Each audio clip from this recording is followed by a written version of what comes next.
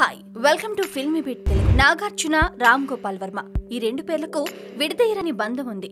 టాలీవుడ్లో ఒక trend setter లాంటి శివ అటు వర్మని ఇటు నాగార్జునని వాళ్ళతో పాటు తెలుగు సినిమా ఫార్మేట్ని మార్చి పడేసింది ఆ సినిమా విడుదల ఇరవై ఎనిమిది ఏళ్ళు అవుతున్నా ఇప్పటికీ కొత్త దర్శకులకు ఒక నిఘంటువు లాంటిదనే చెప్పాలి.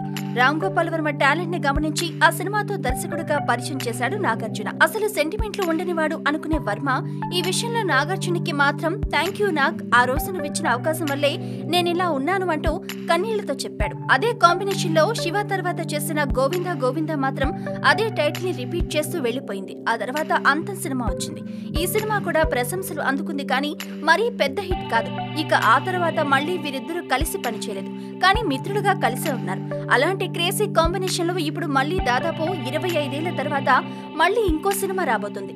ఎన్టీఆర్ జీవిత చరిత్ర ఆధారంగా తాను రూపొందించబోయే లక్ష్మీస్ ఎన్టీఆర్ సినిమా కంటే ముందే నాగార్జునతో ఓ సినిమా చేస్తానని ప్రకటించిన వర్మ తాజాగా ఇందుకోసం ముహూర్తం ఖరారు చేశాడు. నవంబర్ ఇరవై నుంచి అక్కినేని నాగార్జునతో ఓ కొత్త సినిమా షూటింగ్ ప్రారంభిస్తున్నానంటూ సోషల్ మీడియా ద్వారా తెలిపాడు వర్మ. అంతేకాదు ముహూర్తపు షాట్ అన్నపూర్ణ స్టూడియోస్లో ప్లాన్ చేశానంటూ పేర్కొన్నాడు. అంతకు ముందు చాలా కాలం కిందట వర్మ నాగార్జున కాంబోలో వచ్చిన సూపర్ డూపర్ హిట్ చిత్రం శివ కూడా అన్నపూర్ణ స్టూడియోస్లోనే ప్రారంభించామని వర్మ గుర్తు చేయడం విశేషం. For more interesting updates keep watching Filmibeat Telugu please like and share don't forget to subscribe thank you